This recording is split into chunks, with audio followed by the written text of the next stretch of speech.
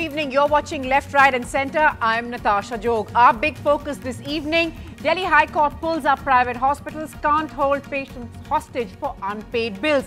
Has healthcare in India uh, become purely a business now? That's the big question that we're looking at this evening. A special panel coming up in just a few moments.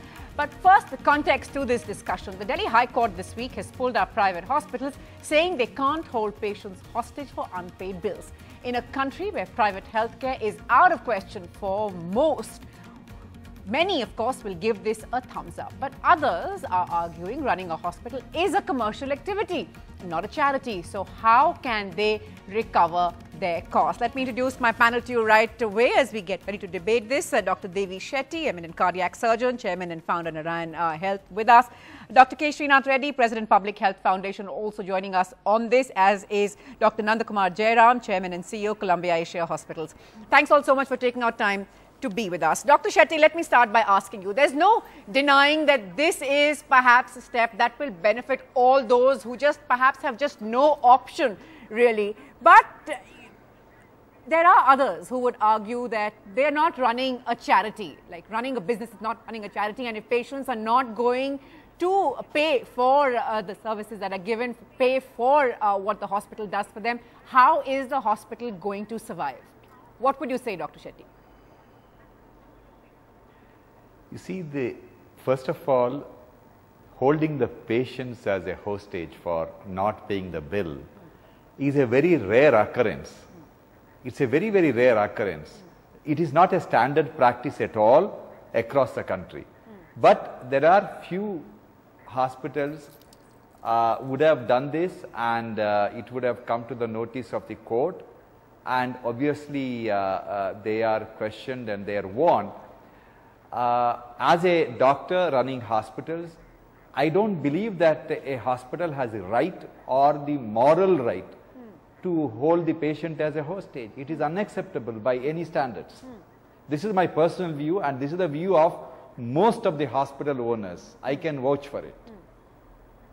Okay, that, that, that's of course good to know. And of course, we're not talking about the big chains. You're absolutely right. This, this is not the norm at all, and it's not our case that it is. But it does tend to happen, and perhaps that's why the court has got into it. Dr. Uh, Nandakumar Jairam, come in here at this stage. How do you see this debate unfolding? We've had lots of people, uh, you know, over the last couple of days write to us to say that hospitals just have to recover their costs. But at the same time, healthcare in India and where it stands and how private healthcare is just unaffordable for lakhs and crores of Indians is also a reality.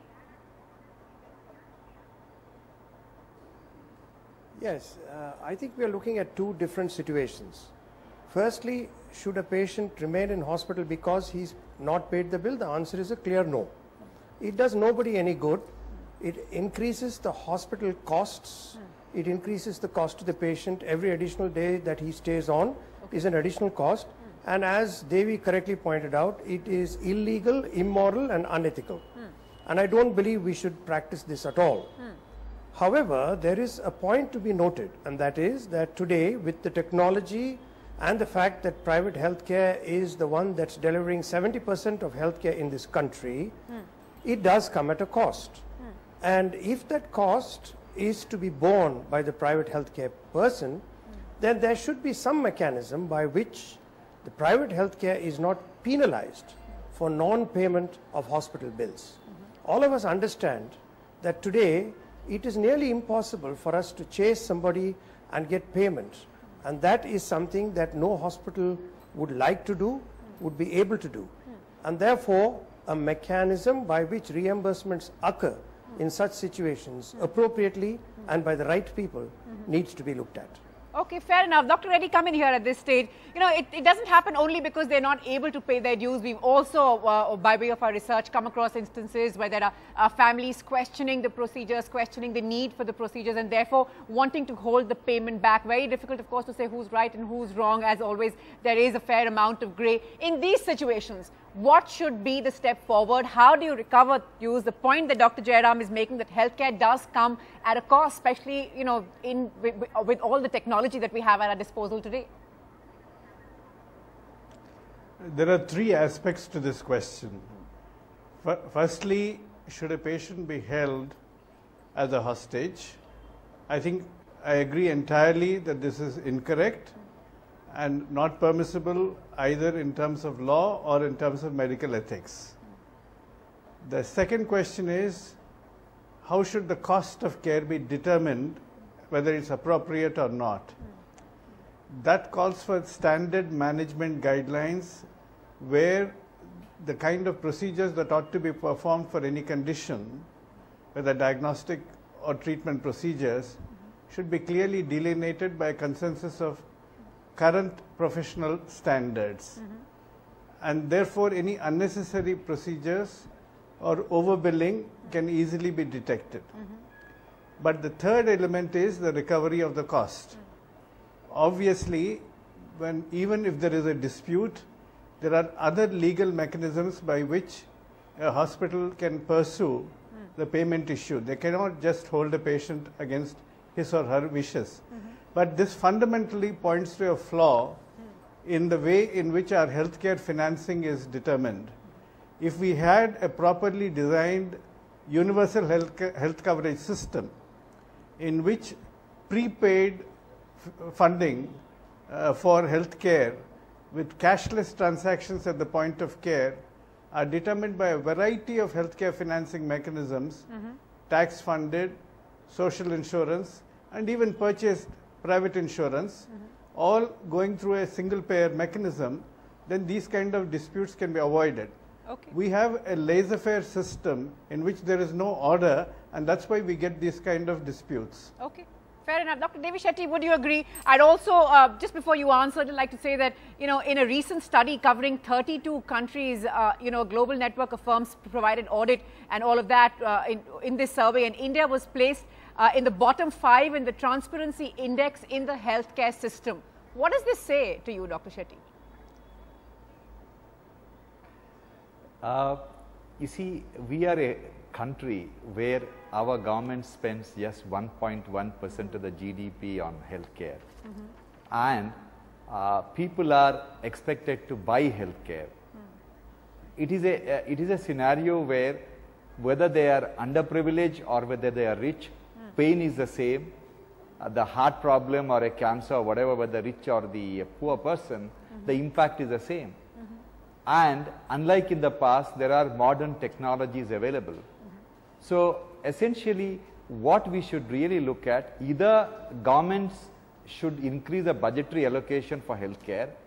If that is not possible, uh, encourage uh, universal healthcare where there are vehicles for people to contribute. Like we have 900 million mobile phone subscribers, and they spend at least 200 rupees per month just to speak on the mobile phone. If we can collect 20 rupees from each mobile phone subscriber every month, we can pay for the surgical treatment of entire 900 million people. It is possible. We have proven that with 5 rupees per month, hmm. you can do any surgeries on human body. So it is possible. So essentially we have to look at innovative means of funding the cost of healthcare and once this mechanism is in place, we can always dictate terms, how the payment happens and how the treatment is carried out. All right. Today, it is a kind of a situation wherein people have to buy healthcare and all the, you know, along with this kind of a sale and buy, a lot of uh, uh, incidents happen which is not acceptable to by all of us. Okay. Okay. Fair enough. You know, uh, one more question to you, Dr. Shetty, before I move on, which is, you know, you, you mentioned India's spending on healthcare as percentage of our GDP. We've been talking about this for years now, you know, on why we need to up our game on this, how good healthcare quality uh, healthcare is really unaffordable and out of the reach for most Indians. But successive governments have done precious little on this. Do you really see any signs of that changing? See the uh, before we increase the budgetary allocation, we need to look at the uh, the the skilled manpower. Hmm. Our biggest problem why healthcare is today becoming unmanageable hmm. is because of acute shortage of medical specialists. Hmm. Today healthcare is all about medical specialists. MBBS doctors can hardly contribute much to delivering healthcare because of the legal restrictions. So fortunately now our government has taken a very tough stand in terms of encouraging medical education Uh, the, you're aware that a NEET has been launched so that there is a fairness in the system of uh, uh, selection for medical uh, education and government has made a commitment to increase the number of PG seats All right. and these are the right steps what government has taken. So I am optimistic that things will be better. Okay, that's good to know. Do you share that optimism, Dr. Reddy? Do you believe that the story will change? We'll be perhaps one day uh, doing, you know, look, talking about how things have changed over the last few years, and hopefully that day is not too far away. But there's little sign of that, wouldn't you agree? Well, the new national health policy that was unveiled just about a month ago actually commits that we will increase public financing on healthcare to 2.5% of GDP by year 2025. Even though that may be slightly less than what is required mm-hmm. and maybe slightly longer than what it should take, mm-hmm. nevertheless, it's a step in the right direction mm-hmm. and we ought to see incremental increase in public financing in each annual budget from now on. That's what I hope. Secondly, it is also very clear that the national health policy is recasting the entire policy on the health workforce, talking both about non-physician healthcare providers at the front lines, increasing the number of allied health professionals as well as the number of basic doctors and specialists. Mm-hmm. But we truly need to invest in building a stronger health system All right. with universal health coverage as the framework. Okay. Dr. Uh, Jairam, coming at this point, you know, the one problem uh, that keeps coming up is perhaps, for want of a better phrase, a trust deficit that seems to have built up. Look at what happened when there was an entire debate around stents. You had most people, you know, already convinced that they had been overcharged without really going into the details of it and saying that, you know, they had spent X amount without again going into whether they'd got the latest generation or not. So there seems to be really a trust deficit as far as healthcare is concerned. How are we going to bridge that? Firstly, I think the trust, trust deficit exists and is a more recent phenomenon. Mm-hmm. And you will recall, at least if you're old enough, that 20 years back, this did not exist. And the reason for this, I think, stems from the following facts. One, we have technology which has increased the cost at which healthcare is delivered mm. substantially in this country. Mm. Two, the fact that transparency is lacking in certain, and I repeat, certain healthcare institutions, and the lack of transparency, not only in terms of financing, but also in the way that healthcare is delivered, results in the lack of trust. Sure. Trust can be definitely brought back, and for that, we require the following. We require transparency and a code of ethics that will define it. We require that communication between the patient, the hospital, and the doctor increases to the level, and today's healthcare provider and patient understand that they are in a different world. The patient is definitely knowledgeable about his problem All right. and the options that he has, hmm. and sometimes the, the knowledge is not really appropriate. Whatever it may be, communicating clearly with the patient Okay. about the options he has for the treatment, Okay. the kind of treatment that will be provided, mm-hmm. is the only way mm. that this trust deficit can come down. And believe me, closing the gap that the trust has currently, or the, the lack of trust that exists, hmm. will go a long way, not only in alleviating some of the hmm. problems of finance, but in my opinion, the violence that has now crept into, and unfortunately at that, the healthcare system of this country.